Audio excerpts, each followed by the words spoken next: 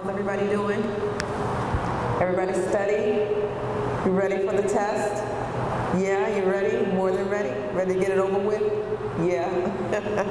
All right. So, uh, as you know, uh, we are in our what? We have one more, our fifth week. So we just have uh, one additional week to work on situational judgment and ability to learn and apply information. So we're going to continue in the books that we started with last week. So if you do not have the situational judgment book, you need it. Uh, also the ability to learn and apply information, and then there's a supplemental book as well. So everybody's okay. Everybody has all the materials. All right, so what we're going to do is we're going to start with situational judgment. So you can open up that book. And what we're going to do, uh, just because some people uh, just got the books today, we're going to go back over some of the uh, explanations. So the numbering is a little off. So again, you're going to turn, you're going to see page one. You're going to flip, you're going to see page two, three, and four. And then the next page, you're going to see page 12, and that's where we're going to start. So I'm just going to read over the subject area four, situational judgment, and then we'll get started with some practice problems. So situational judgment. This section tests for the ability to identify appropriate and effective responses to work-related challenges. Candidates will be presented with several scenarios that reflect the types of challenges one could encounter in a work environment. They will then be asked to rate the effectiveness of a number of possible responses to each scenario. Test task. In this section, candidates will read a scenario that describes a challenge one might encounter in a work setting. After reading each scenario, candidates will then be presented with options for addressing the challenge presented in that scenario. Candidates will rate the effectiveness of each of the response options using one of four possible ratings. Highly ineffective, somewhat ineffective, somewhat effective, or highly effective. There may be several approaches that effectively or ineffectively address a given challenge. In other words, candidates may use the same rating, highly effective, somewhat effective, somewhat ineffective, highly ineffective, for more than one response option for a particular scenario. There's a sample scenario. Uh, we went over this last week, so I'm just going to give you a minute to review the sample scenario. All right, so instructions. It says, a number of possible responses to this scenario are listed on the next page. Read each response option and then rate the level of effectiveness that best describes each possible response to the scenario using the scale provided. Be sure to rate the effectiveness of all the response options. Note that the same rating highly effective, somewhat effective, somewhat ineffective, and highly ineffective may be used for more than one response option. Turn the page. Next it says, subject area 4 continued. Please rate each possible scenario response using the scale. If you select highly ineffective, you are stating that the response is likely to result in far more negative than positive outcomes. If you select somewhat ineffective, that means that the response that you choose is likely to result in somewhat more negative than positive outcomes. If you select somewhat effective, that means that the response you choose is likely to result in somewhat more positive than negative outcomes. Lastly, if you choose highly effective, that means that your response is likely to result in far more positive than negative outcomes. Please take a minute. I'm going to actually give you two minutes because we have some students that are just coming in this week. Go ahead and review the possible scenario responses and then the solution below. Two minutes. All right, so hopefully you had an opportunity to review that. We will get into some practice uh, scenarios that will uh, utilize the four different uh, ratings that we have there. Actually, it'll be a little bit more than that. But anyway, let's go on and let's review test taking tips for subject area situational judgment. The first thing that it says is identify the problem the question is highlighting. I'm going to say that again. Identify the problem the question is highlighting. Be sure to clearly understand the issue or area that the question is addressing. When reading the question, try to clarify what specifically is the element that needs your attention. If you skim through the scenario without clearly identifying the issue you should diagnose, you will be in a weaker position to tackle the question. Next, it states, only consider the options listed Focus on the responses that are in front of you. It may be that the course of action that you would most naturally do is not listed as an option, but don't let that or this occupy your mind. Also be wary of making assumptions. That's really hard not to do, but it says be wary of making assumptions. Try to mainly use the information that's given in the question Analyze the responses that are provided and focus on their effectiveness and appropriateness. A situational judgment test will assess how you react and behave during a hypothetical work-based scenario. It's evaluating, can you handle conflict? Can you problem solve? Can you identify what's relevant and what isn't? Can you mediate or resolve situations? Are you a leader or a follower? So now what we're going to do, we did a third of the booklet already. We are going to do another third tonight. So you are going to continue to flip through the questions till you get to number 17. number 17.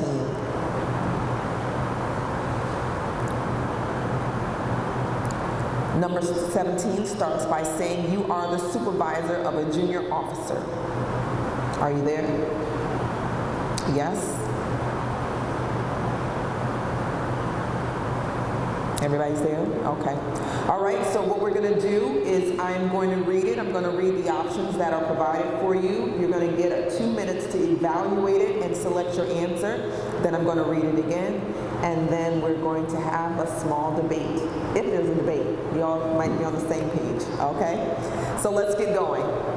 So number 17 states, you are the supervisor of a junior officer who routinely must pull duty shifts in remote locations with various members of the organization. Recently, this officer has informed you that he does not feel comfortable pulling duty with members of the opposite gender for religious reasons and requests that he not be scheduled with female crew members. Due to the strained nature of the duty schedule, this request will create significant challenges for all members of the organization to fill the shifts, get the required training, and schedule medical appointments and leave. Select the least effective action, A through E, in response to the situation. Is it A, because this request is for a religious accommodation, you work with the scheduler to fulfill the request regardless of the dis disruption to others in the organization. B, schedule a meeting with the unit commander to discuss this request and get instructions for a course of action. C, deny the request and report the individual to the Equal Opportunity Office on base for discrimination. D, immediately deny the request and do not report the conversation to the commanding officer. E, schedule a meeting with the unit chaplain to discuss re this request to see if the request has any religious foundation. Two minutes to evaluate and select your answer. All right, so I'm going to go through it one more time. It says, you are the supervisor of a junior officer who routinely must pull duty shifts in remote locations with various members of the organization. Recently, this officer has informed you that he does not feel comfortable pulling duty with members of the opposite gender for religious reasons and requests that he not be scheduled with female crew members. Due to the strained nature of the duty schedule, the request will create significant challenges for all members of the organization to fill the shifts, get the required training, and schedule medical appointments and leave. Select the least effective action in response to the situation. Is it A, because this request is for religious accommodation, you work with the scheduler to fulfill the request regardless of the disruption to others in the organization. B, schedule meeting, a meeting with the unit commander to discuss this request and get instructions for a course of action. C, deny the request and report the individual to the Equal Opportunity Office on base for discrimination. D, immediately deny the request and do not report the conversation to the commanding officer. E, schedule a meeting with the unit chaplain to discuss this request to see if the request has any religious foundation. What did you choose? D is in dog. I saw a hand over here. What did you choose? You chose C. And what else? Anyone else? All right, so young lady, you come in, sign, come up and sign in for me. Come sign in for me. All right, guys, so I'm going to come out there, and then we're going to talk about what you chose, okay?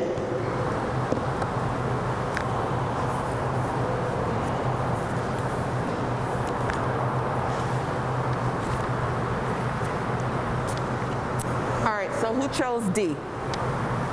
You chose D, so talk to me why you chose D. Well, I chose D because he immediately denied the request. We didn't think about it. We didn't, uh, didn't ask the supervisors.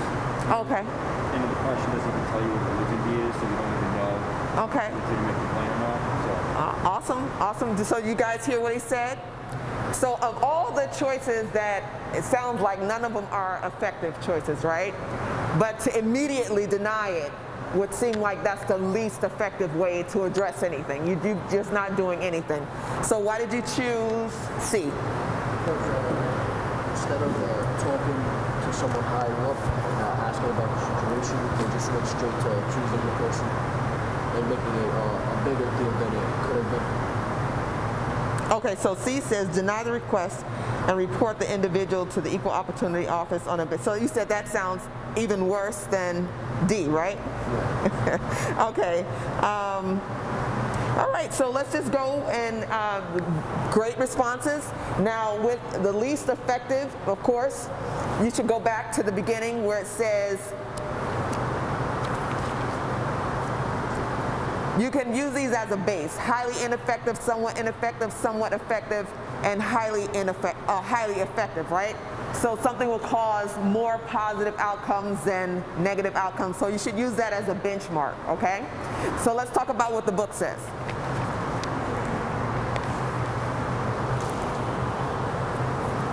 All right, so for number 17, D is the correct answer. Immediate um, is the least effective thing to do, okay? So it says, from the level of a junior to mid-level officer, this is not a request that you are able to grant or deny on your own. Because this is both a resource management concern and one that affects the professionalism of the officer and not wanting to serve with others of the opposite gender, the commanding officer must be informed. Okay, so does that make sense? So from a, a strategy standpoint, again, you have to understand the variations between effective, responsive, and ineffective responses. So none of those sound good, right? So you have to make sure that you understand the differences between what's effective and ineffective, right? But that was the mission for you to pick the least effective action out of all of those, okay? So let's move on to number 18. 18 states, an eager newspaper reporter wanting a headline story attempts to interview a firefighter working at the scene of a two-alarm fire. When confronted by the reporter, the firefighter would best serve the department by doing what? Is it A, revealing as many details about the fire as possible? B, threatening the reporter with the prospect of prosecution for criminal trespass? C, enhancing public relations by emphasizing how hard firefighters work? D, referring any questions the reporter may have to his superior. Again, understand what the mission is and evaluate it and select your answer. You have two minutes. All right, so one more time. Number 18. An eager newspaper reporter wanting a headline story attempts to interview a firefighter firefighter working at the scene of a two-alarm fire. When confronted by the reporter, the firefighter would best serve the department by doing what? Is it A, revealing as many details about the fire as possible, B, threatening the reporter with the prospect of prosecution for criminal trespass, C, enhancing public relations by emphasizing how hard firefighters work, or D, referring any questions the reporter may have to his superior. What did you choose? D is a dog again? D? Okay. All right, what else? Anything else? Everybody check, uh, selected D? Yeah? Okay, so I'm going to come out there one more time.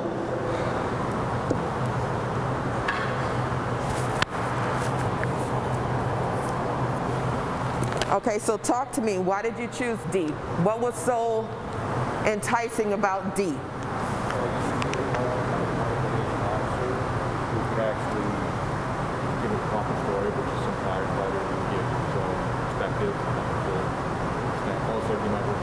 details that wouldn't necessarily serve the department. Okay, so you said uh, the, the fire department should have a public relations person to talk, to speak with, so, okay. All right, anybody else? Why did you, anyone else want to offer why they chose D? You guys said you all chose D. What was the rationale? basically it's same thing like you said. You know, uh, every government has a spokesperson that will direct all interviews through. And for this, all the answers make sense, but if you select D, uh, the superior will be able to reveal as many details to the reporter, also kind of inform as to why they shouldn't trespass when there's fire. And also, at the same time, keep the relationship between uh, the department and the uh, public Okay. on an even, uh, even ground. Okay, awesome. All right. Anybody else want to offer their answer? All right, good. So now we're going to go into what the book says. All right.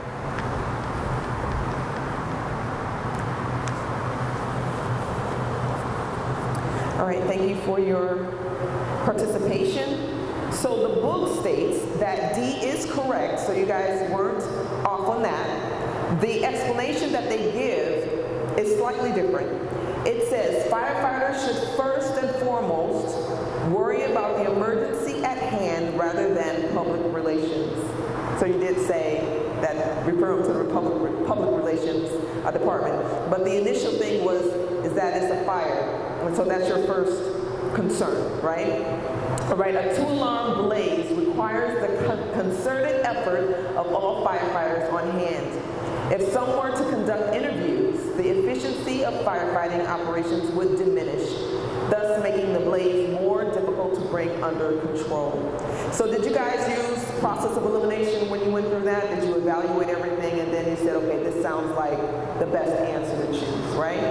Okay, awesome. So we're going to move on to number 19. 19 states Bob had just gotten off house watch and decided to repay a fellow coworker for a prank. They, uh, the day had been fairly slow, so Bob went to his friend's locker and filled both his work boots with water. This would be considered, this would be considered A, harmless because both people referred to were off duty. B, harmless because the prank only involves someone getting wet feet. C, Unsafe because any degree of horseplay can lead to potential injury or hinder response efficiency. D. Tolerable because no equipment was damaged as a result of the prank. Two minutes to evaluate, make sure you know what the mission is, and select your answer. All right, number 19. Bob had just gotten off house watch and decided to repay a fellow coworker for a prank.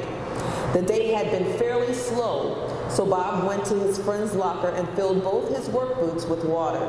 This would be considered A. Harmless because both people referred to were off duty. B. Harmless because the prank only involved someone getting wet feet. C. Unsafe because any degree of horseplay can lead to potential injury or hinder response efficiency. D. Tolerable because no equipment was damaged as a result of the prank. What did you choose? I heard C over here. Everybody? Everybody with C? Okay.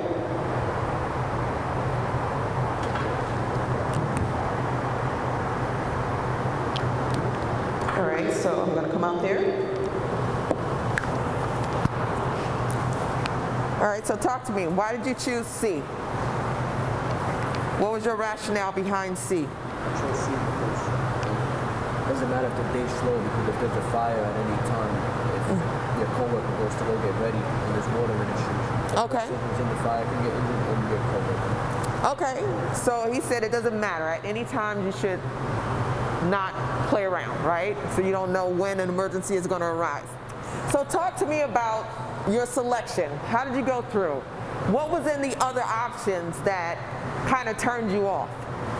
Is there anything, any glaring red flags that were in the other options that said, hey, these aren't the ones I should choose? Well, they all said like harmless or tolerable, Okay. agree with that. So making some assumptions, Yeah. right, about the whether it's harmless or not. We don't know that, right? What else? What else is in there that would turn you off from the other answers? They don't identify with the fire department. Say that again. They don't identify with the um, what the fire department, fire department is supposed to do. Mm-hmm. So the point of a fire department is to like be efficient. Okay. Fires, what they just said. Yeah, you could mess around or mess Okay. stuff. So, Awesome. All right. Um, so what about um, A? When you look at A and it said off duty, right? Did you guys catch that? Right? Those little those little things in there that would kind of throw you off. Well, not. It didn't throw you guys off, right? So you caught that. We don't know. It didn't say that he was off duty, right? It said that he was just off house watch or something like that. It didn't say he was off duty. So just be mindful, and it seems like you guys are about the options that you have and how you should look for just little little things that will throw off the whole scenario, right? They have assumptions in there. And if you fall for them, of course you could select the wrong answer.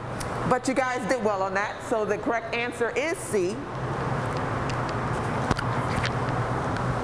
And let's just talk about the rationale that the book states for selecting C.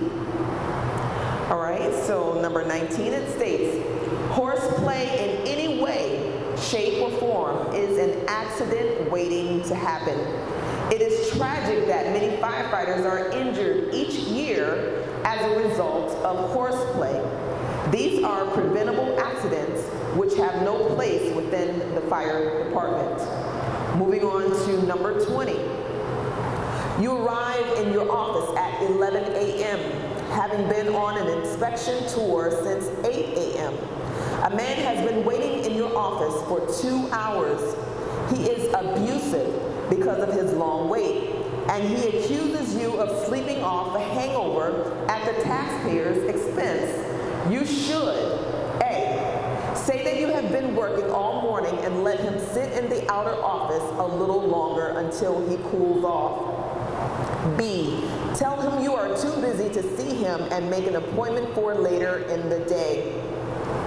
C. Ignore his comments, courteously find out what his business is, and take care of him in a perfunctory manner. D. Explain briefly that your duties sometimes take you out of, the, out of your office and that an appointment would have prevented the inconvenience. Two minutes to evaluate and select your answers. All right, 20. You are in your office at 11 a.m., having been on an inspection tour since 8 a.m. A man has been waiting in your office for two hours. He is abusive because of his long wait, and he accuses you of sleeping off a hangover at the taxpayer's expense. You should a. Say that you have been working all morning and let him sit in the outer office a little longer until he cools off. B. Tell him you are too busy to see him and make an appointment for later in the day. C. Ignore his comments, courteously find out what his business is, and take care of him in a perfunctory manner. D. Explain briefly that your duties sometimes take you out of your office and that an appointment would have prevented the inconvenience. What did you choose? C? C, I heard a B. B is a boy. D is a dog. D is a dog. Okay, so we have C and D. Yes? Okay, anything else? No? Okay.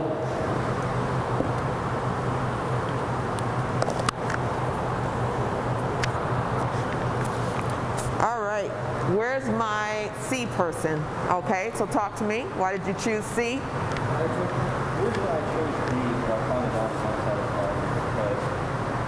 this guy taken care of, you want him fix his issue, and D doesn't say that. And you do that in a way you just explain yourself and not deal with the actual problem. C, you actually do Okay, okay. All right, so he was tussling before, um, or toggling, or trying to um, figure out between C and D. So you landed with C because you said D doesn't really address the problem? Yeah. Okay, who chose D? Where's my D person? You? Okay, talk to me. Yeah, so I, uh, I thought D because um, it addresses uh, what um, the person's upset about um, and could put them at ease. And uh, also be like um, it, it explains to them why you're not there. And uh, it kind of um, vouches for yourself as to why and uh, would alleviate his concerns and also be constructive in that uh, find out. Okay, so you say it's a constructive way of handling this irate person in your office, right? Okay, so great responses. So let me ask you all what does the word perfunctory mean? What does perfunctory mean? Because that, that is the, the, the goal or not goal, right? When you don't have a clear understanding of what the word means, then it could be the life or death of your choice, right? So what does perfunctory mean? No? All right. So perfunctory means that it is kind of done without care. Done without care. I'm just going to I have a duty to do. I'm just going to do it. I, I don't care about it. I'm just whatever. You're going to get whatever. If I need to write this letter, I'm just going to write it however I feel like writing it for the day and whatever. So understanding what perfunctory means now, what, what would you choose? So our choices are C or D. So now what would you choose? D. D is correct, right? So you are handling the problem, but it's in a careless, not a, I won't say careless, it's just like out of duty, okay?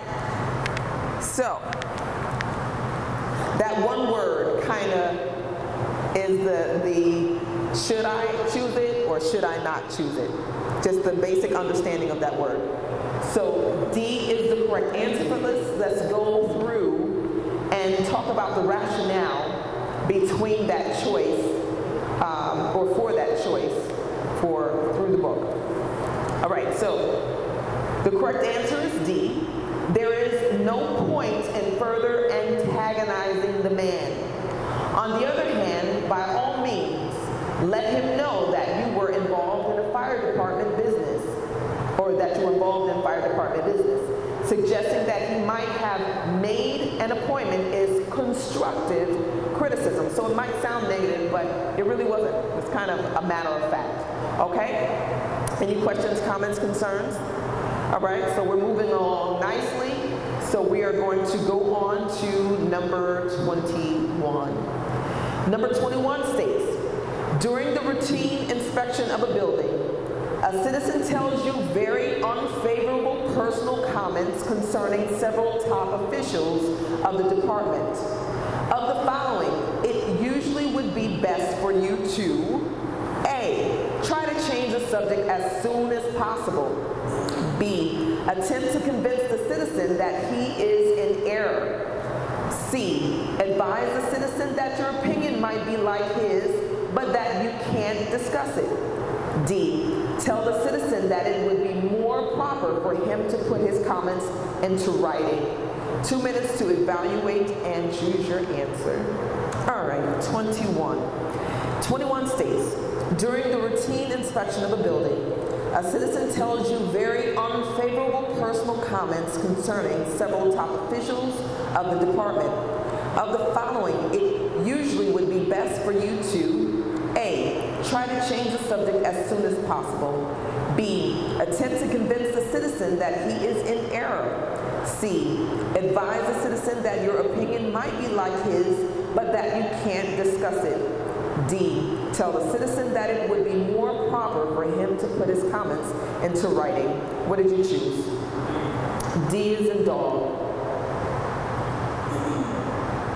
Running out. Okay.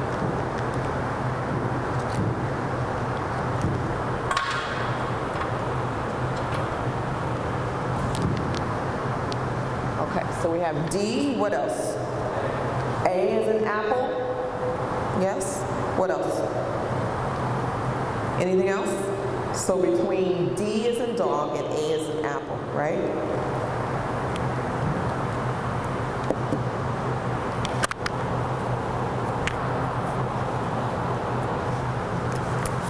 All right, so where's my D is in dog? Okay. Talk to me. Why did you choose D? He gets it in writing and shows some official and he actually makes a change. Uh, Oh. Me as a inspector, Okay. do anything anyway, and um, it's not professional to Okay. engage in that conversation. Okay. Just put it put it in writing And then give it to someone else to and get it out of get get it out of here. Okay. All right. Who chose you? A, right? Okay. I think being in a situation where Huh? I think being in a situation where your boss is spoken about poorly is just a bad look for no matter what happens, even if they're writing or not. Okay. I, I would change the topic immediately. Okay, he's saying, look, I, my name is Wes. I ain't in this mess. My name is Bennett. I ain't in it. Yeah. Okay. I want you guys. You guys can laugh. That's what he's saying. He's like, no, I don't want to hear none of it. Okay. So I know that the book says, try not to make assumptions, but sometimes your, you know, your human nature is like, let me create something in this and kind of evaluate it. Now, my question to you is what if the person that was sharing all this salacious information, what if he told you that this high up official had four affairs? Would, you, would you tell him, would you give him the advice to go put it in a letter and send it to?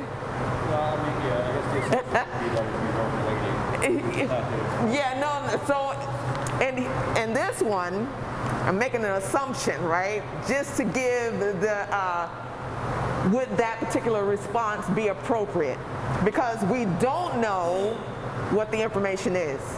I mean, it could be the best of the, well, it's saying, it's implying that it's not good information, right?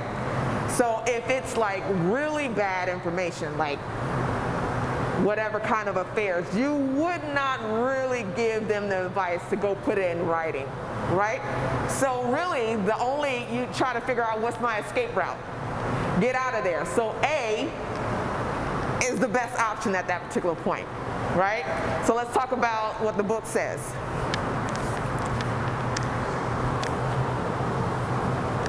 All right, so um, just to go back on some of the strategies, right?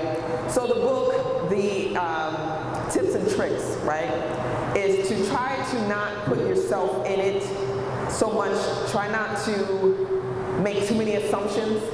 But situational judgment is calling on you to use background information, right? Use what you know.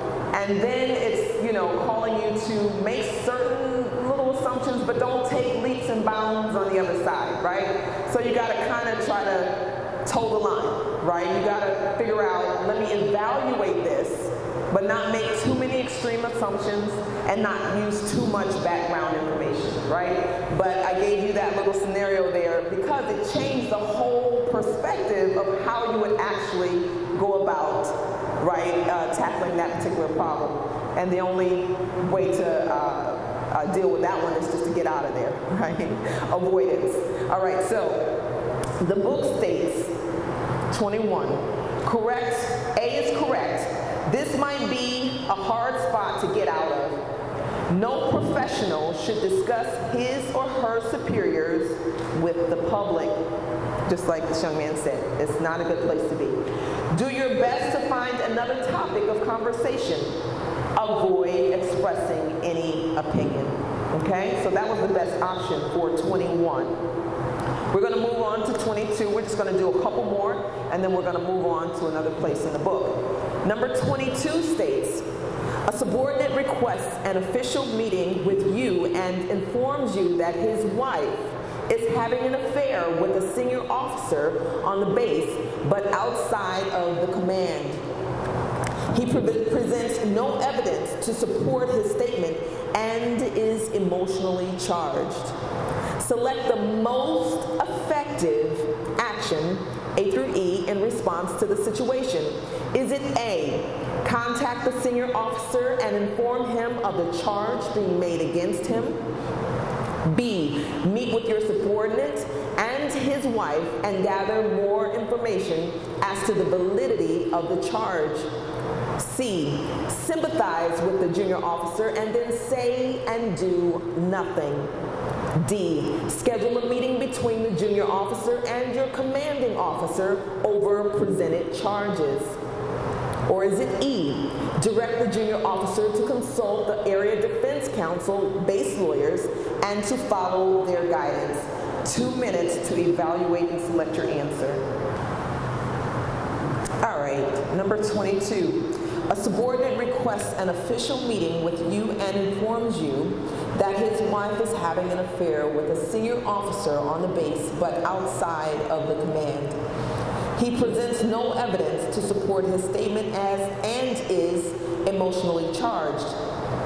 Select the most effective action in response to the situation. A, contact the senior officer and inform him of the charge being made against him. B, meet with your subordinate and his wife and gather more information as to the validity of the charge.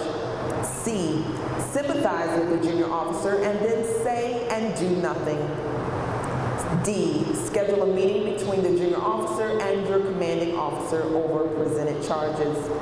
E, direct the junior officer to consult the area defense counsel, base lawyers, and to follow their guidance. What did you choose? B is in boy. Elephant. Got a new, a new one. okay. What else? Anything else? Everybody on board with E? Okay.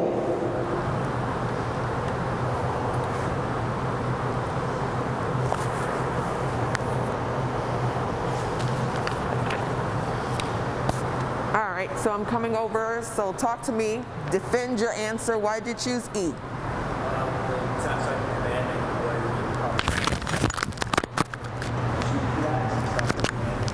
So it's out of your command, right? So it's like, you said that's above your pay grade.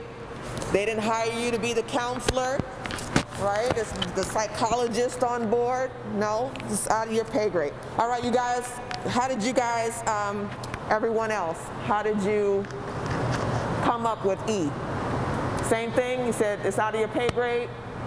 You don't want to be in there, huh? It says, um, since the law is called guidance, so there's a set of rules against code, Okay, and that's what it is. Okay. So you uh, interjected in their hierarchy of how to handle certain situations, or If they follow their guidance, then I guess they have rules. okay, all right. So E felt like the best answer. Anybody else want to offer their uh, reasoning why they chose that? So you guys are on the same page. So E is the correct answer. So let's talk about why the book, what rationale they gave.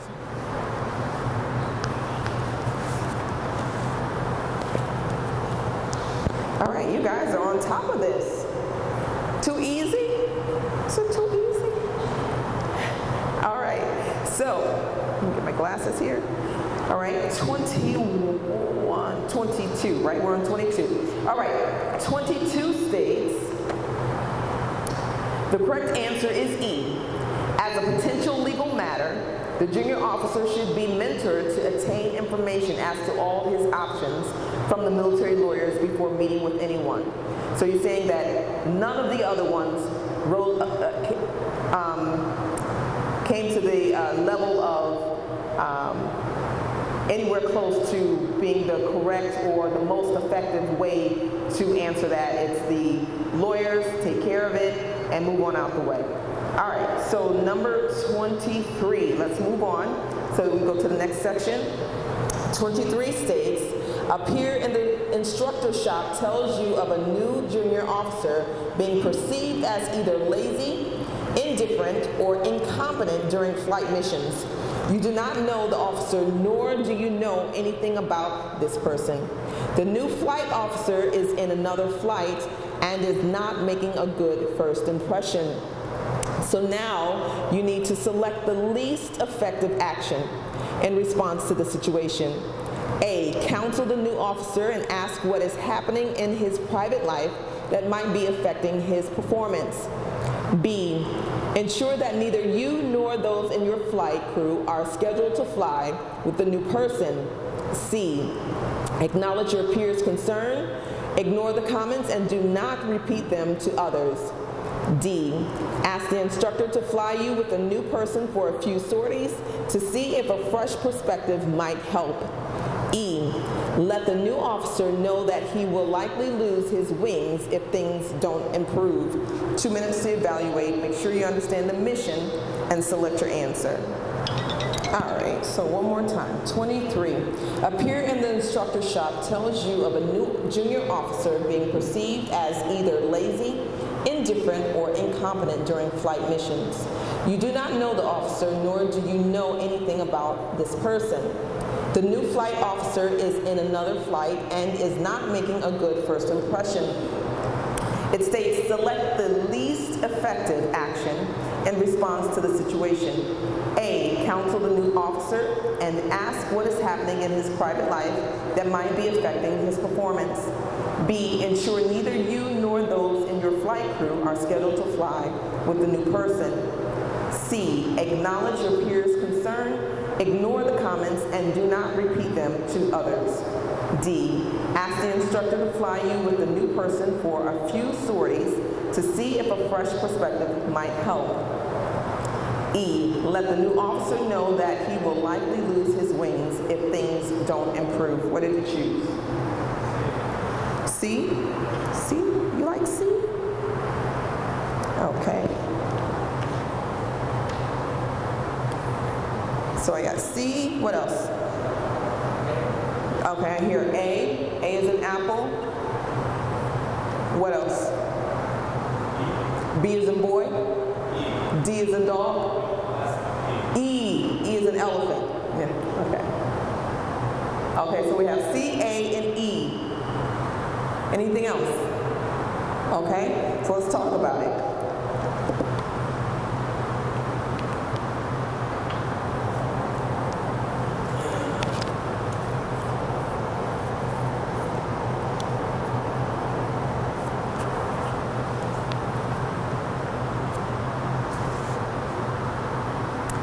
Right, so we have C. Who chose C? You? Okay. Uh, I chose C. First off, this question says select the least effective. Mm-hmm. So it's not, you're not trying to fix the scenario. You're trying to what wins. And in option C, So, so least effective is your, it could be used, but it's not going to generate a positive outcome, right? So it could be used, it's just not the best way to handle the situation. yeah, and uh, C, you know, you could ignore his comments and whatever, Mm-hmm. but that doesn't get, you know, maybe his thing, his claim is true, maybe Okay. it's untrue, you know, untrue. All the other answers, you do some type of investigation. You This guy, you talk to him. Okay. This one, you just ignore his comments and don't do it. Uh, Just ignore them. Say, be done with it. okay. All right. So we chose A. Where's my A person? Over here. All right. Talk to me. Well, it's the information about the guy's private life. Mm-hmm. So if you're going to assume it's kind of rude, and you don't know if that's how he's normally acting, or if he's a, having a great life or a bad life, you don't know. So it's kind of rude coming off to make assumptions. Okay. I suppose if you ignore it, maybe because junior officer is doesn't like the guy, or so you could ignore his comments, don't repeat them, but keep it in mind. Okay. All right. Okay. I'm hearing you. All right. Um, and last but not least, we have E. Where's my E person? Okay. So talk to me about E. I just felt it was a disadvantage because he mentioned that he doesn't really know the person, and it sort of comes off as a little hostile. Wait, wait, which one? He, E. You said it comes off, off as a little hostile. you don't, well, he said he didn't know him and it came off as a little like threatening. And Okay. It's sort of like, who are you to tell me, you know, one of those situations. Wait a minute. So are you saying that E is going to come off a bit hostile, or it will not? It will. It will. So you're. Oh, I see what you're saying. Okay, because it's least effective. So you're saying, okay, E. Okay, I see what you're saying. Okay, so let's go back and let's talk about. Um,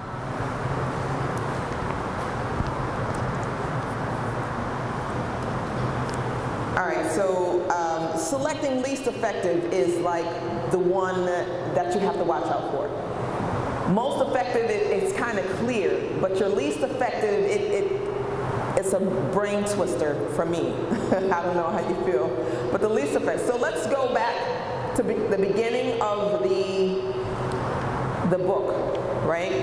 Where when we started at the beginning of the class, we talked about the how they're rating least effective, highly effective, and things like that. So let's just take a moment and look at the ineffective, the two choices that they have, right? So now we have to kind of put our hat on, the, our, our thinking cap on with least effective. So here they offer highly ineffective and somewhat ineffective. So now we have to kind of rate least effective in between those, right?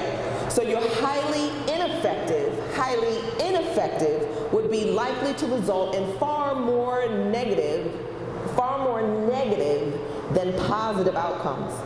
Your somewhat ineffective is likely to result in somewhat more negative than positive, some somewhat more negative than positive, right? So we have to evaluate the least effective in between those two, right? So as you're thinking about A, B, C, D, and E, you have to figure out which one of those is going to be the the will have far more negative outcomes than positive, right? So least effective is not truly the the worst thing that you could do. Does that make any sense? So it's not the worst thing that you could do. So I want you to take another minute and evaluate these options as what fits in the category of the worst thing that you could do. And then something that you could do is not going to be the best thing to do. It's not going to yield as much negative outcome than something that's absolutely the worst thing to do. Does that make sense? So you have varying levels in the least effective. So take a minute and just reevaluate it based on those two definitions of what ineffective is, okay? Okay, so I should have said that only evaluate these three since you guys chose these three, right? um, so did that change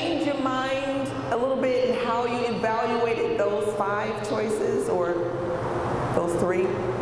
Did it change anything that you thought about? What? No, it didn't. It didn't change your mind. Okay.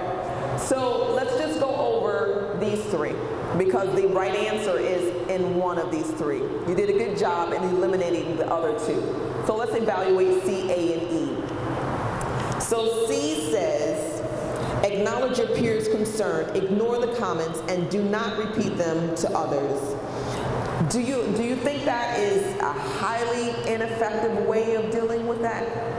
I mean, do you, what if this guy is truly not performing and then he causes some kind of tragic accident or whatever? So not acknowledging the problem and C is probably highly ineffective in dealing with it. Would you not agree with that? Because if we make just a small assumption that if it's not addressed, then he could go on to hurt somebody, right? Maybe cause a fatality or something like that.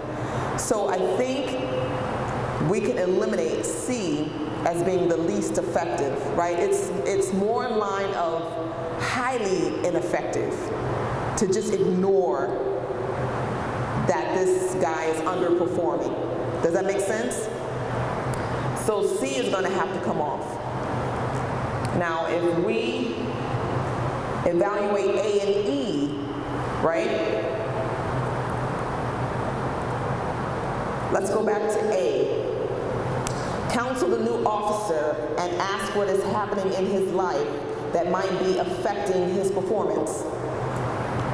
He might be probing a little bit, might be not his business to ask, but at least he's taking a step to see what's going on, right? So,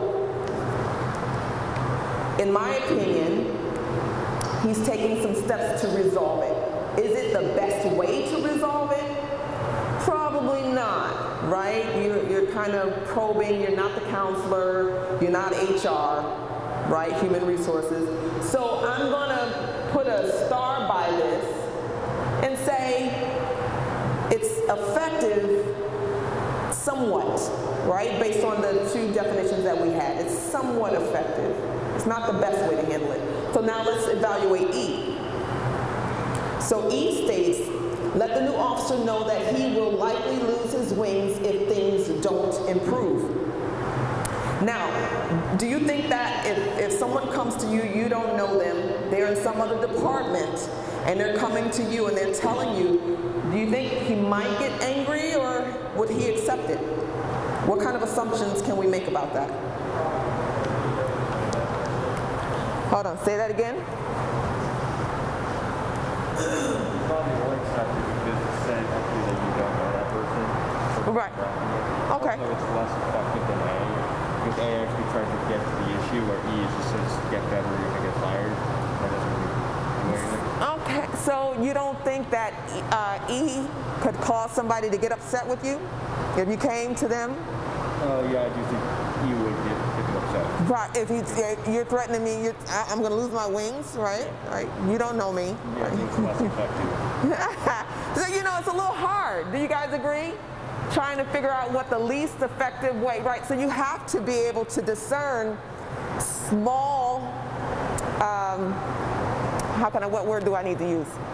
Um, they're just small differences between each of them, right? There's this very minor things.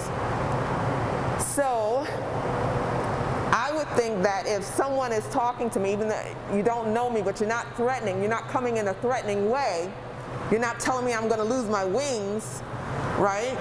But you're coming to me and you're saying, hey, I heard something, whatever, you know, is there something going on that you need help with? I think that might produce a better or a more positive. It's not the best way. So, in a nutshell, you guys see where I'm going with this? A is the least effective, right?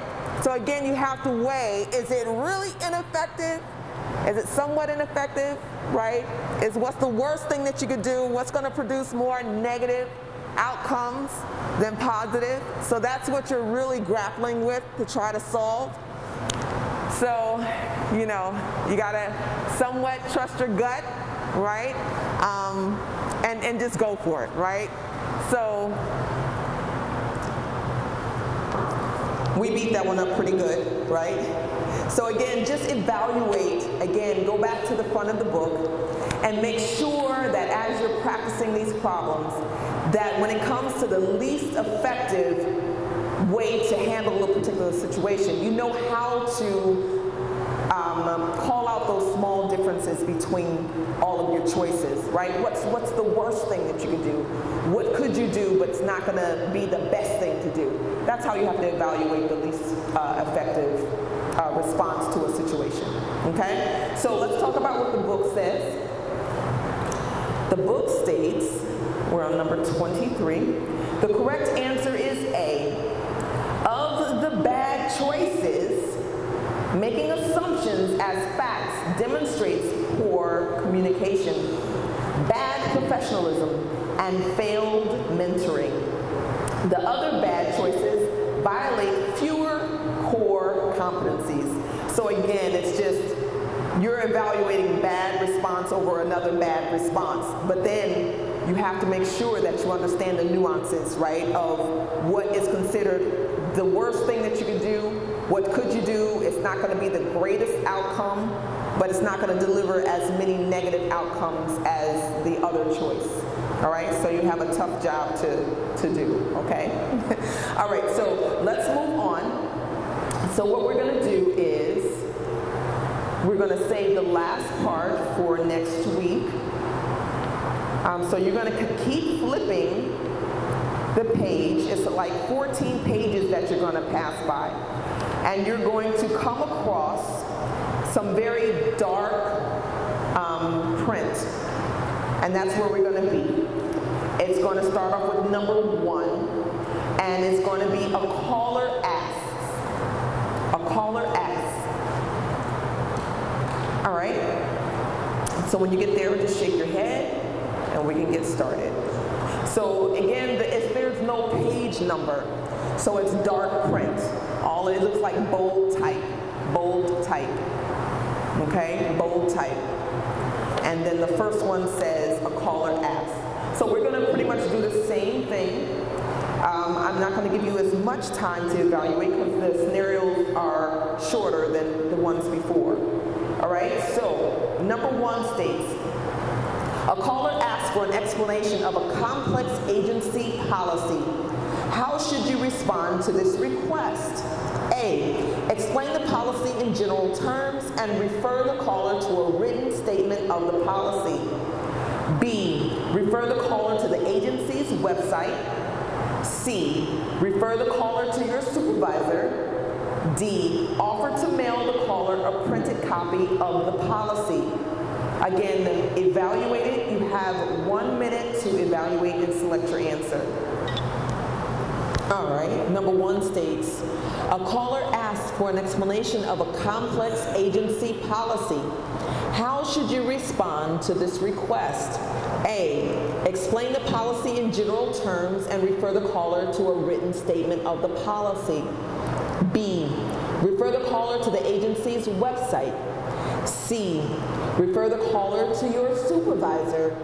Or D Offer to mail the caller a printed copy of the policy. What did you choose? A. Have A. All right, so I am just going to go through so that we can make sure that we're on time. Uh, a is correct, okay? And the explanation behind A is probably not be able to provide a complete explanation of a complex agency policy over the phone.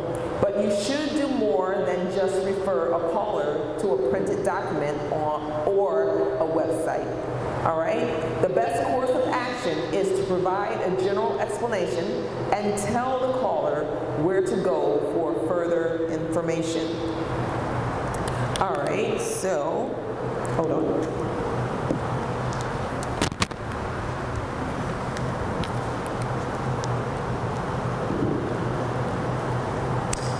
number two.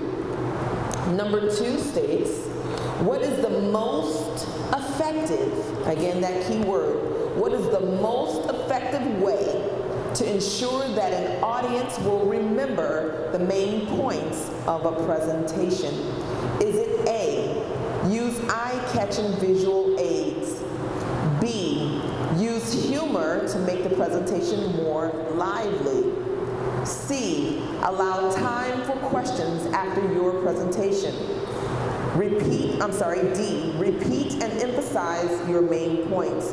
One minute to evaluate and select your answer. All right, number two. It says, what is the most effective way to ensure that an audience will remember the main points of a presentation? Is it A, use eye-catching visual aids? B, use humor to make the presentation more lively? C, allow time for questions after your presentation? Or D, repeat and emphasize your main points? What did you choose? D, I heard D. I heard C. Okay, C and D, right? C is in cat. Who chose C? Raise your hand. Okay, so I'm going to come out there now. We're going to debate this a little bit.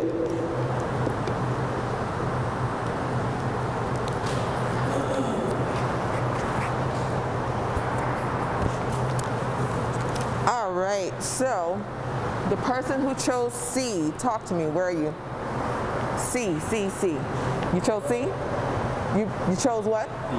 D. D is in dog. You chose C. Okay, talk to me. Well, the reason why I chose C, uh, allowing time for questions after the presentation, allow people to be to refocus and pay attention to what contributions other others are offering. Okay. And uh, using eye-catching visual aids uh, doesn't mean you're really going to remember. Okay.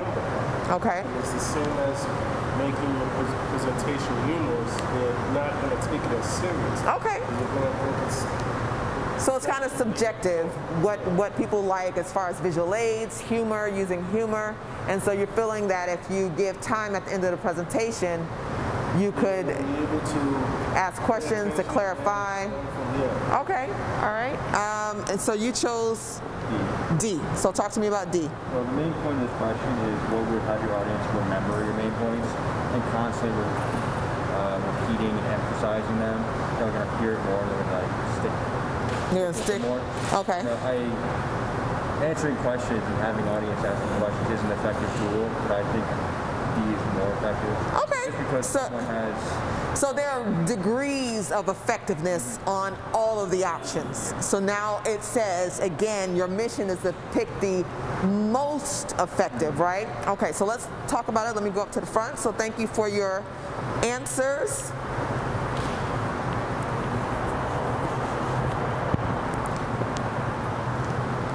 Okay, so I'm going to ask the young man who gave the answer for C. Now, what if somebody left early? What would you choose? Which would you choose if somebody left the presentation early? You would pick you would pick this one? So again, you sometimes I know that again it says don't make too many assumptions. And sometimes you just gotta think things through.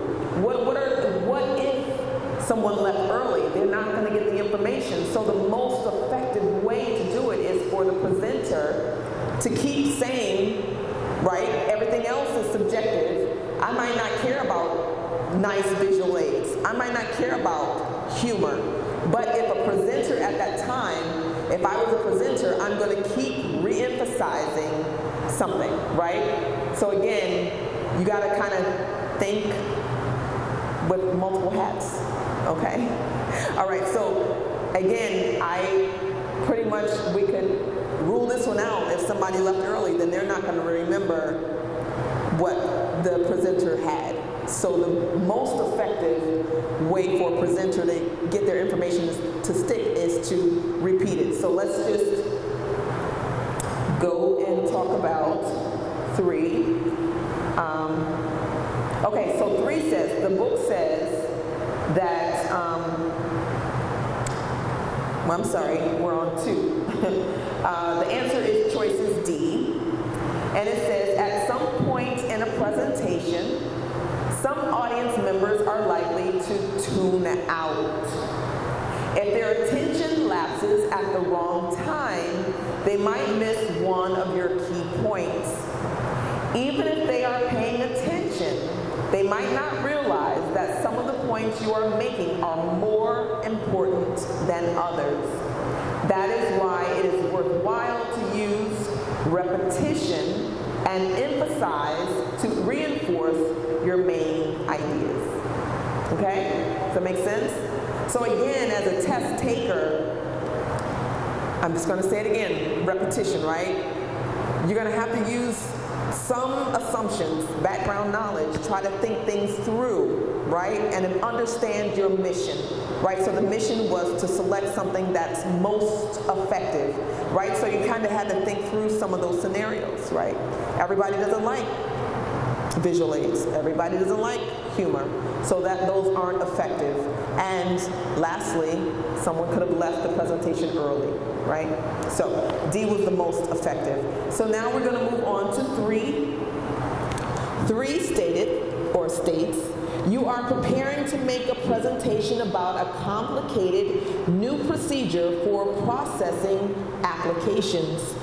What is the most effective way to ensure that the audience will be able to follow the procedure after they have attended your presentation? Is it A, make your presentation as detailed as possible? B, provide handouts with all the information the audience will need to know? C, provide the audience with an outline of your presentation? Or D, encourage the audience to take notes. Again, your mission is to figure out which of these is the most effective way to handle that situation. You have one minute. All right, number three, you are preparing to make a presentation about a complicated new procedure for processing applications. What is the most effective way to ensure that the audience will be able to follow the procedure after they have attended your presentation? Is it A, make your presentation as detailed as possible? B, provide handouts with all the information the audience will need to know? C, provide the audience with an outline of your presentation, or D, encourage the audience to take notes. What do you, B is in boy? B is in boy. All right, what else? All right, everybody on the same page with B? All right, we're not going to belabor it. B is the correct answer. And your book states, most people remember only a few things from a presentation. If you want people to be able to follow a complicated new procedure, you have to give them written instructions that they can take away with them. All right, and so we're not going to go through why the other answers aren't plausible, okay? Now we're going to move on to number four. The deputy director of your agency recently made an erroneous statement in a presentation at a business conference. This comment might lead some attendees to make errors that would be costly for their businesses. How should your agency handle this situation? A. Post a correction on the agency's website. B. Send a correction to all attendees. C. Tell agency staff to be prepared to answer questions about the topic. Or D. Correct the error that the next time the deputy director makes a public presentation. One minute to evaluate and pick your answer. All right, so number four. The deputy director of your agency recently made an erroneous statement in a presentation at a business conference. This comment might lead some attendees to make more errors that would be costly for their businesses. How should your agency handle this situation?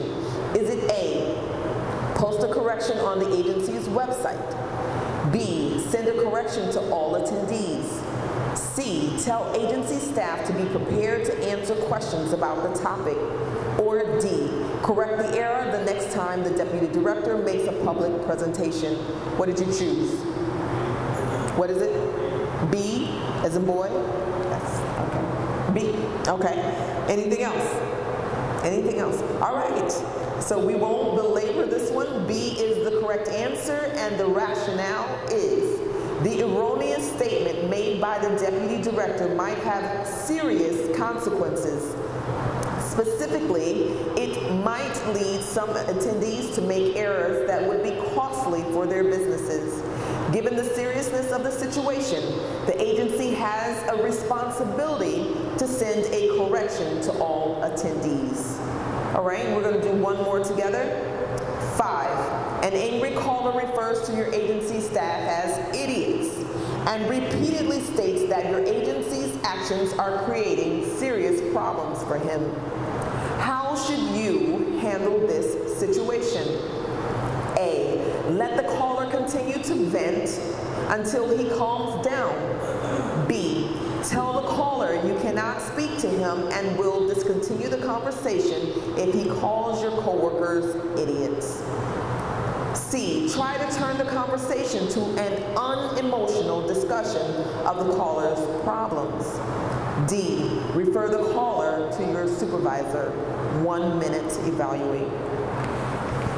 All right, number five. An angry caller refers to your agency's staff as idiots and repeatedly states that your agency's actions are creating serious problems for him. How should you handle this situation? A, let the caller continue to vent until he calms down. B, tell the caller you cannot speak to him and will discontinue the conversation if he calls your coworkers idiots. C, try to turn the conversation to an unemotional discussion of the caller's problems. And D, refer the caller to your supervisor. What did you choose? C? C is in cat? All right, that is the best response. And the book states, in a situation like this, the best thing to do is to try to get the angry individual to discuss the issue in a rational, unemotional way. That is the best response. Now, your task is to take the next five problems, number six through 10. You have 10 minutes, two minutes per situation to answer it, and then we'll go over the answers. 10 minutes. All right. Okay, so let's go over the answers. Number six, what did you guys choose?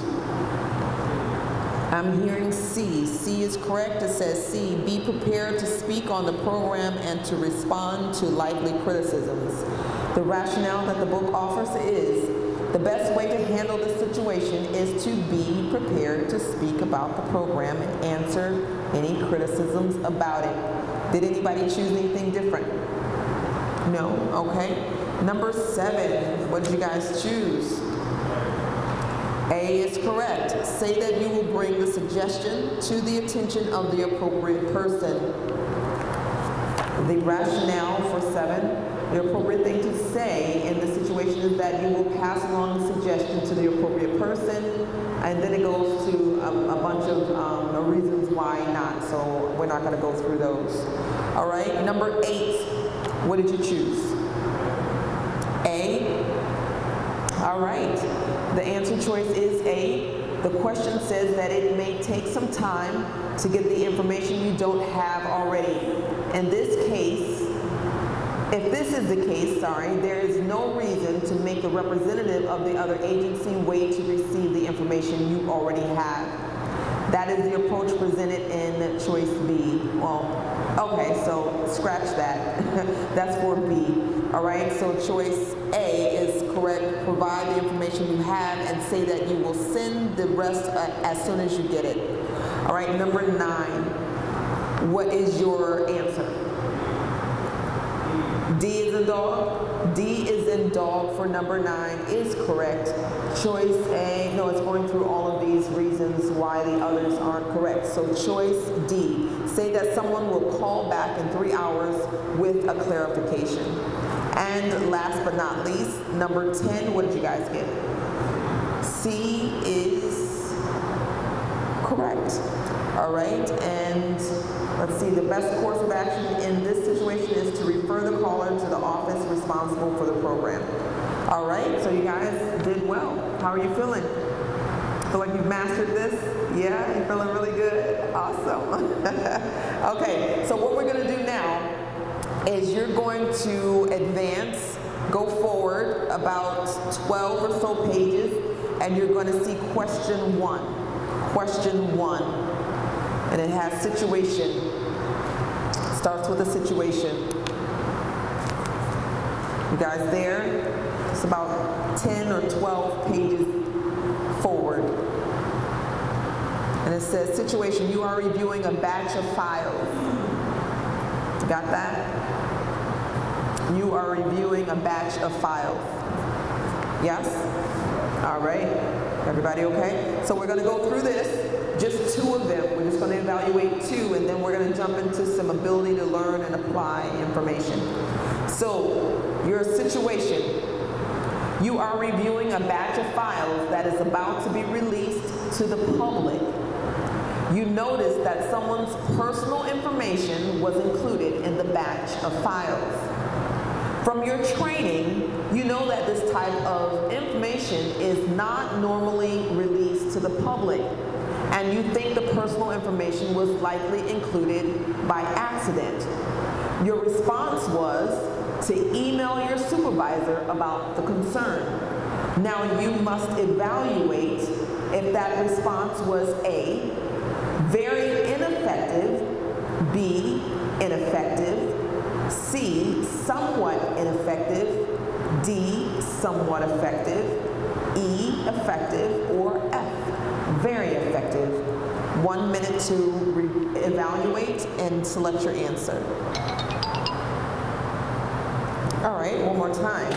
You are reviewing a batch of files that is about to be released to the public.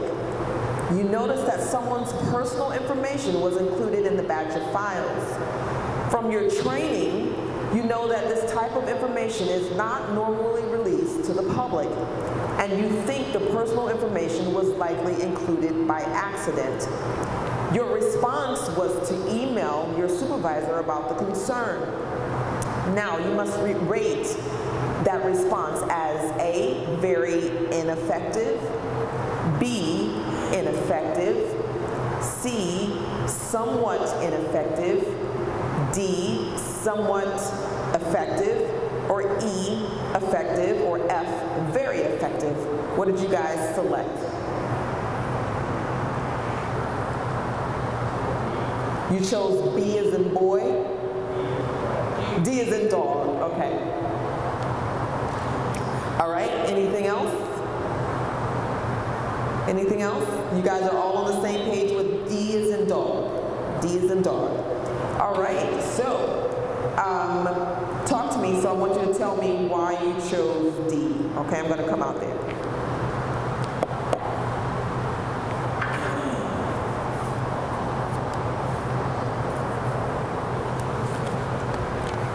All right, I just want to hear your rationale behind why you selected D as in dog. So D as in dog is somewhat effective, right? Okay. So why didn't you choose very effective? Uh, because it takes a while for someone to answer the email. And okay. These files are just about to be released, so we should probably isolate this specific file and then wait versus just like so you're saying this is time sensitive, and so we all, I'm horrible with emails, right? So I have, how many people have 3,000 emails? so, and it's my personal, but my work email is still cluttered, right? So he's saying that it's a, a, a it's not the most effective way to handle something that's urgent, right? So did you all think that? So for everyone, you knew that it wasn't an effect, ineffective way, so you scratched out all the ineffective and you focused on the three effective, right? All right, so somewhat effective is the correct answer. All right, so in that one, you're using some background knowledge about your own behavior about emails, right? And so you know that everybody doesn't check their email right on, you know, right away. It can take some time, and you understood that this particular situation was time sensitive, and so that while it is an effective response, it's not the best response, right? So D is the correct answer. And so let's just see what your book says. The correct answer is somewhat effective. The response is somewhat effective because it may help resolve the problem. You are informing your supervisor of the problem, which is appropriate. However, the supervisor may not see or respond to the email in time to prevent the information from being released. A more effective course of action would be to speak directly with your supervisor or others responsible for the files. All right, number two, we're going to do two, and then we're going to jump into some ability to learn and apply information. Number two states, you are new to the public service. Your supervisor tasks you uh, via email to write a piece of correspondence on behalf of the minister. You feel the supervisor's tasking is vague and you are unsure how to complete it. Your response was to complete the task to the best of your ability. You are new and your supervisor will understand. So your response, was it A, very ineffective, B, ineffective, C, somewhat ineffective, D, somewhat effective, E, effective, very effective.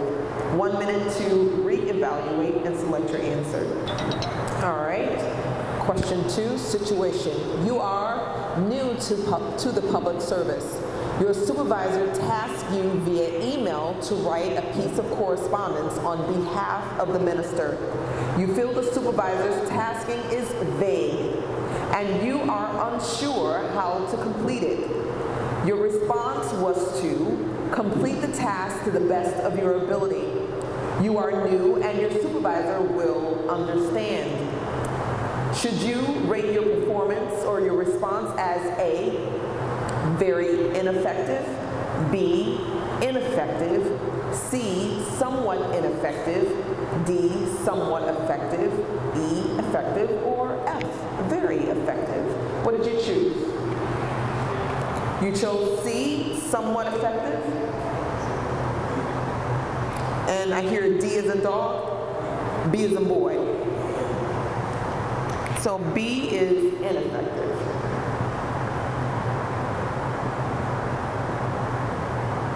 and C is somewhat ineffective.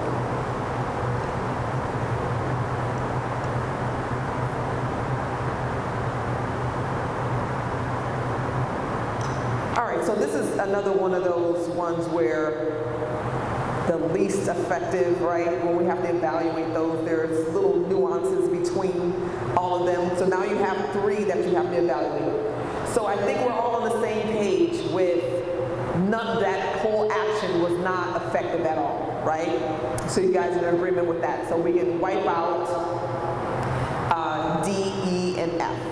You all are in agreement with that. No one chose anything about effective, right? So now it's just the variations between very ineffective, ineffective, and somewhat effective. So let's just evaluate the scenario once again. You have a task to do. The directions are vague. And you take it upon yourself to go ahead and solve or complete the task to the best of your ability.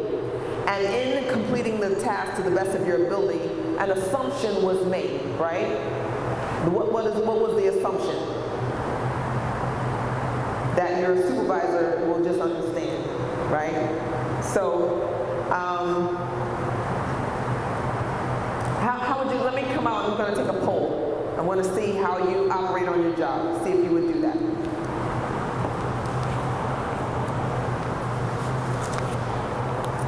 All right, so how do you think a supervisor would rate that? Do you think that they would be okay with you been, being given a task and you do it, but you didn't really understand how to do it? How do you think that would be? Do you think that would be favorable? Not really, right? Right? So, um, is it the is it the worst thing? Is it the worst thing that could happen? I mean, they, they, at least they tried, right? so when you start to think about it's not really favorable, but it's not the worst thing. And you have three categories to kind of choose that action. Very ineffective, ineffective, and somewhat ineffective. With, with a little bit of the discussion, would you, where would you fall between C and D? Like you already know, it's, it's not the worst thing, so it's not very ineffective, right?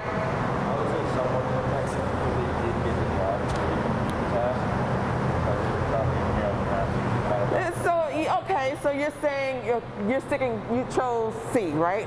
So you're sticking with your answer. okay, so you're defending it some more. All right. Um, all right.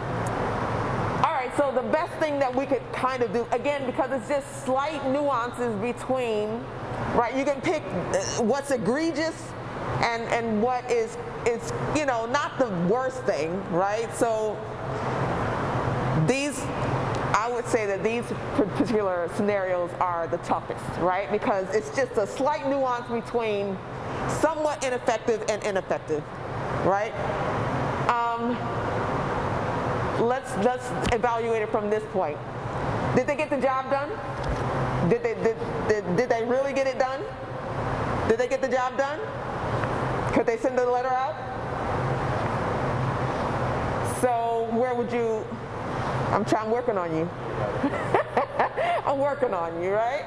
So they didn't get the, they didn't really get the job done, right? So it's not somewhat ineffective because they didn't get it done. It was an ineffective way to handle that situation, right? So it's just a slight nuance, right?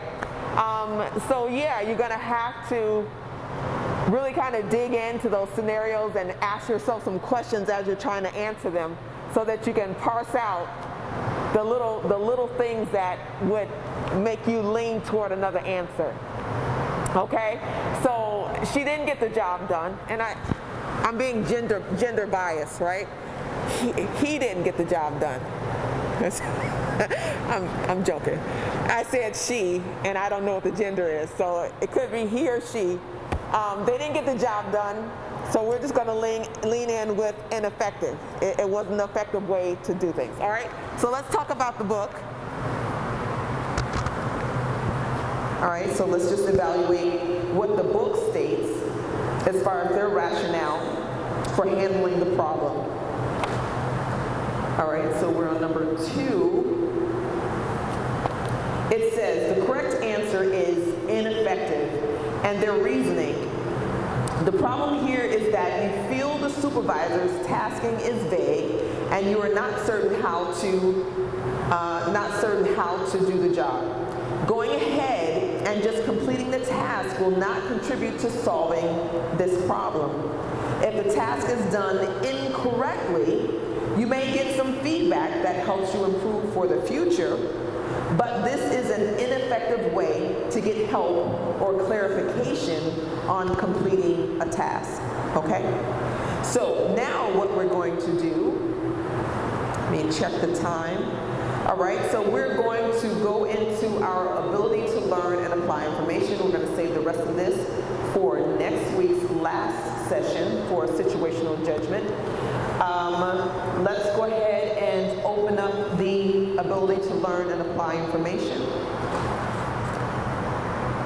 Again, you will see page one, two, three, and four. We're just going to quickly go over the subject area one, what's expected of ability to learn and apply information. Are you guys there? So it's just a quick review. All right, so ability to learn and apply information. These questions test for the ability to learn new information and apply it to answer questions effectively. Candidates will read information presented in a training lesson and then answer questions regarding the information and procedures covered in the training lesson. Information needed to answer the questions will be provided in the training lesson, and candidates will be able to refer to the training lesson when answering the questions. Some of the questions may require candidates to combine information from different portions of what has been learned in the training lesson. No prior knowledge of any specific job or subject matter is needed. Test task. In this section of the exam, candidates will read information from a training lesson to help them learn how to operate a piece of equipment. The training information is about a piece of equipment that is not real. It was created for the exam.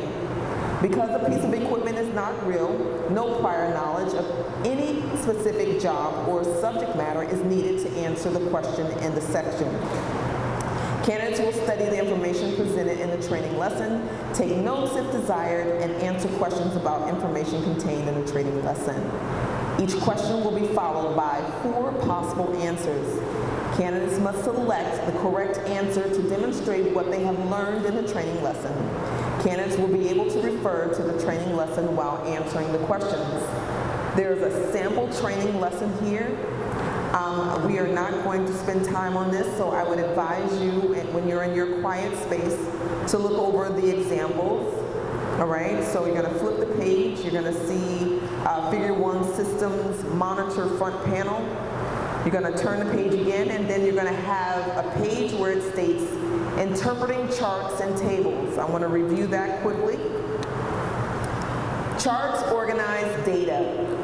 Tables, on the other hand, are used to represent a large amount of information in an organized way. All information will be presented in columns and rows. Let's look at five tips for interpreting questions using charts and tables. Read the title. Read the title. Carefully read the title of the graph, chart, or table.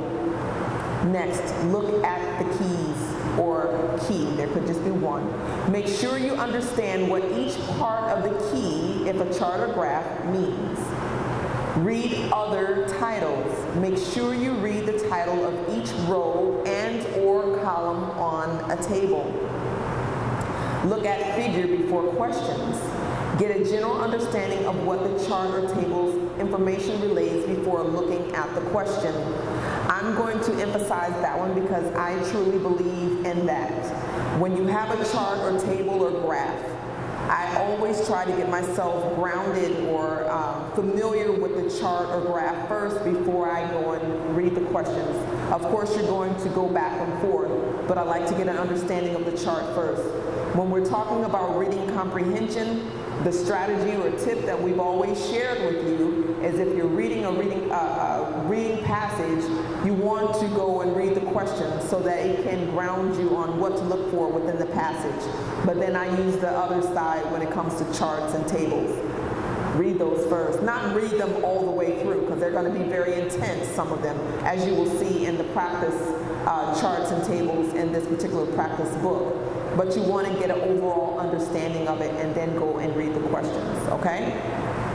Last but not least, of course, hands down, read carefully.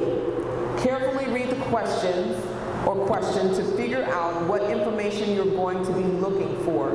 Make sure you understand which part or parts of the chart or table will provide you with the relevant information.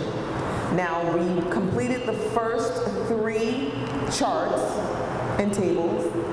We finished the first three. The one that we're going to start on today is entitled, you can just pretty much go four pages in. Maintenance helps avoid energy waste and repairs. Maintenance helps avoid energy waste and repairs. You can see that the table already is pretty dense.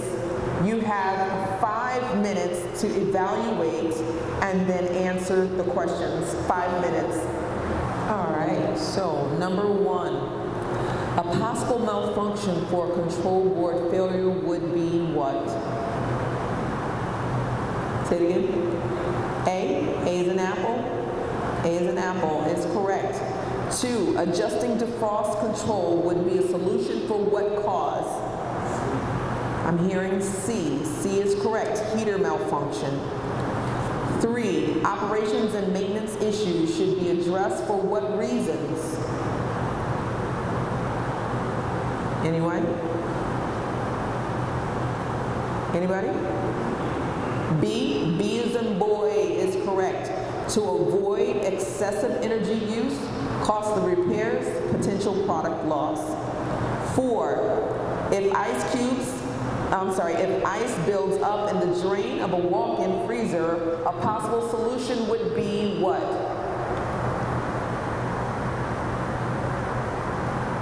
D.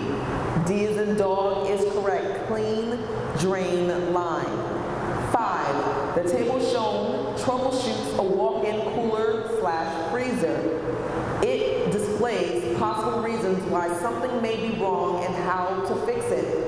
What titles can be found in the chart?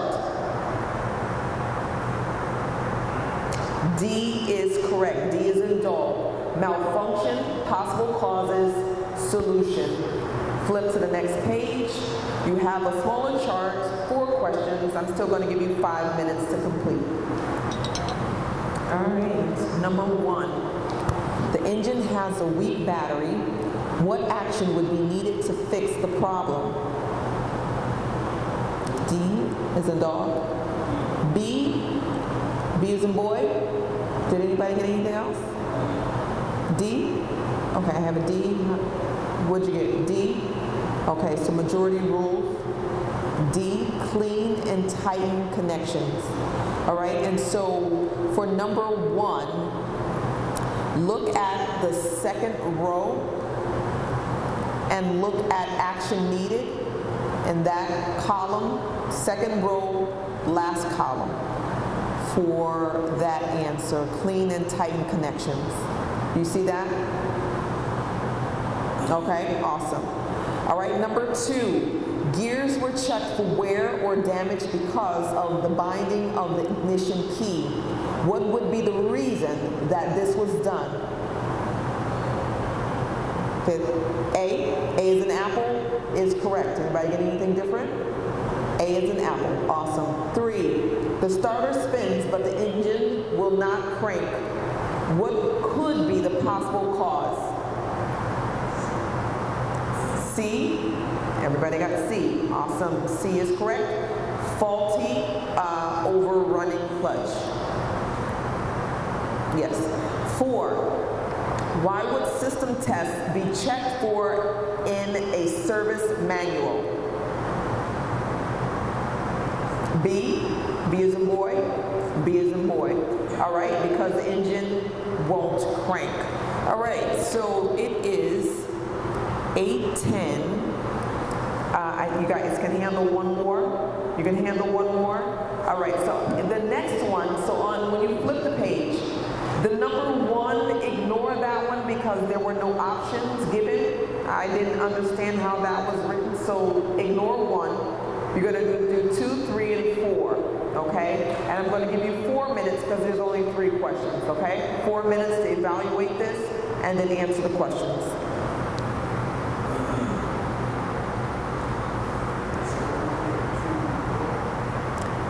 Yeah, two through four because number one wasn't fully, they don't have any answers there. All right, number two. We're starting at number two because number one was not fully written. What LCD alarm is displayed when the machine does not take water? B, B is in boy. B is in boy is correct. F2. Three, LED numbers one and four flash. What is a possible solution? You have C. Anything else? Did everybody have C? You have, okay, so um, let's talk about this. Um, where did you, tell me where did you find your answer? Now, I had to create my own answer key. So I came up with D, and I'll tell you where I got information. I got my information from one, two, three, four, five, the fifth row down, and the second in the last column, right? Did you did you see that? What did you get?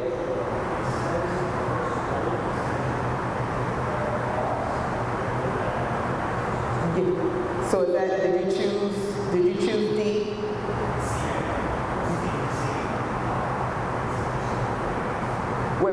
What did you choose? You chose C and D? Oh, okay, okay, okay. So let's look at that. Okay, so you had C, you had C and D, you had C and D as well? Okay, uh, so it says LED numbers one and four flash. One and four flash. What is a possible solution? So uh, make sure the drain pump filter is not clogged. See page. Okay, and then it says make sure the rinse hold special function is enabled.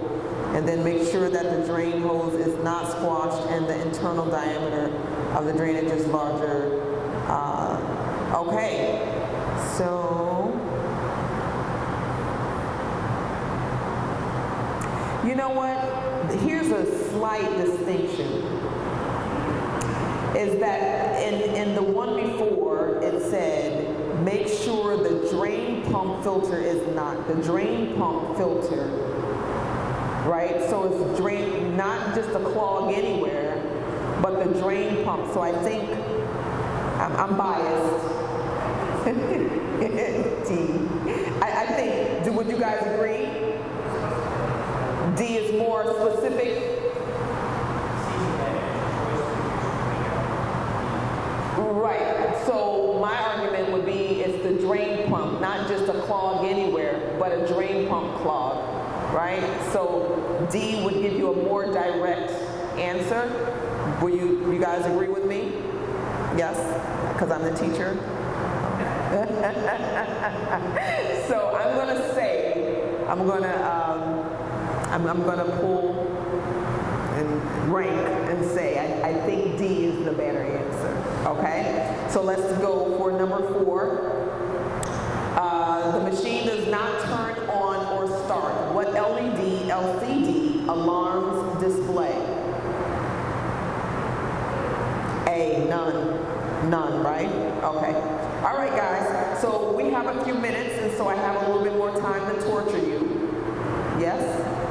You guys have a little notepad? Because I'm going to give you three word problems. I'm going to read them to you, and you can solve the word problems, and then I'm going to let you go home and get some sleep, right? I see it in your eyes. You guys ready for sleep? No, not really? You ready to hang all night? Huh? okay, here we go. All right, you're number one.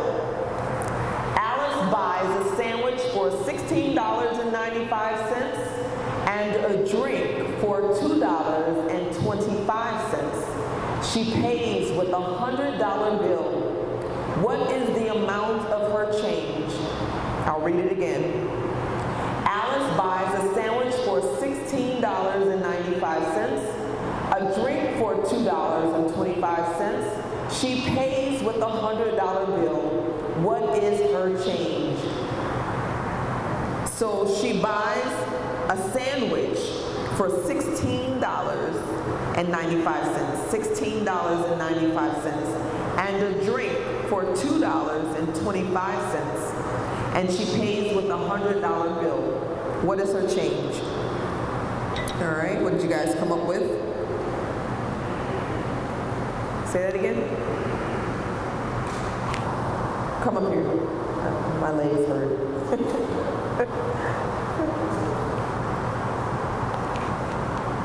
What'd you get? Oops.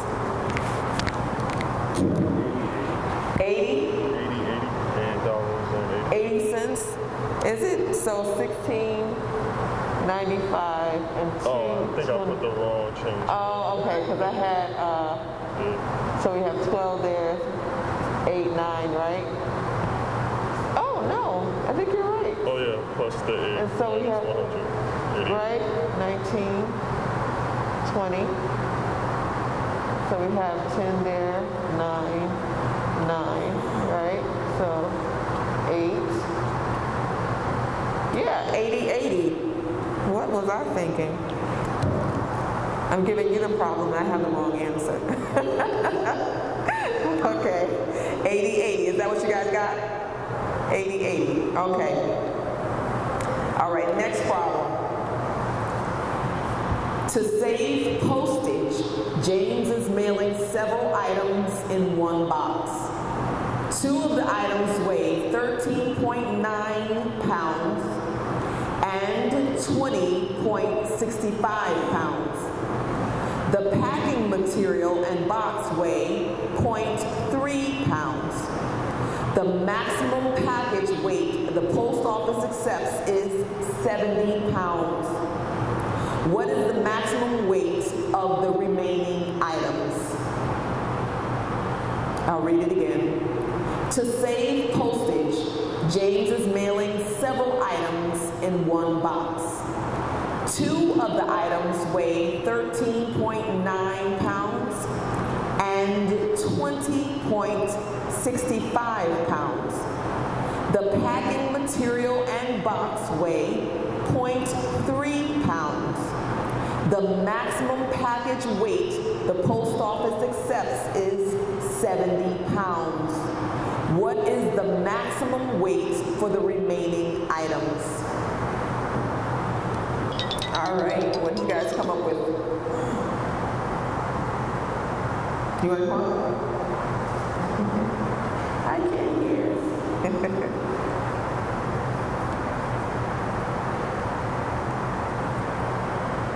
okay, what'd you get? Say that one more time. 45, 15. 45, 15. Okay, I gotta check my work again. okay, so we have 13.9, right, for the one of the weights, and then we have 20.65, right? And then we have 0.3 for the packing material, right? So we have 5, 18, 4, 3. Is that what you guys got for all the combined weight? 34.84? And then the maximum is 70. So we have to deduct 34.85.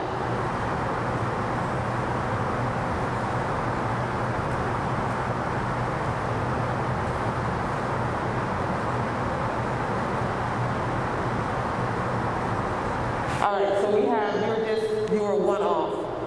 So 35.15 is the maximum weight of the rest of the packing material. Did you guys get that? I'm not completely off, okay. Yeah, so just check your addition and your subtraction, okay? Last but not least, last but not least, okay? Um, it says, the walkers pay $0.1165 for each kilowatt hour of electricity they use. Their friends in a neighboring state pay $0.095. How much more do the walkers pay for each kilowatt hour than their friends pay? I'll repeat it. The walkers pay $0.1165 for each kilowatt hour of electricity they use. Their friends in a neighboring state pay $0.095. How much more do the walkers pay for each kilowatt hour than their friends pay?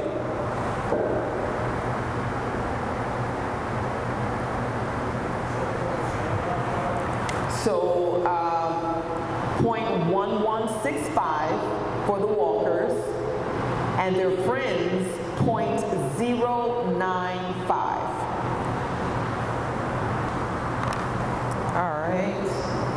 Was that enough time to solve, or you need another minute or 30 seconds? I only gave you 30 seconds anyway. So what did you guys get?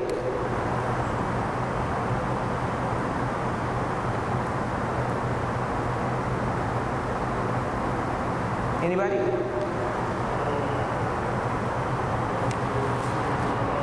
Hold on one second.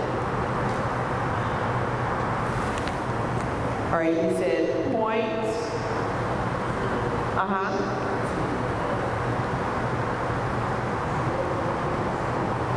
That's the difference in price for the kilowatt hour. So basically, you take 0.1195 minus 0.095. Bring down your five, four, oops, what did I do? Hold on, I put the wrong number up there. Oh, six, five. Six, five. One, we have 11 there, two, zero. Okay? All right, so these were just some word problems with decimals. All right, um, until next week, same bat time, same bat place. All right, guys, have a wonderful week. All right, take care. Have a great night.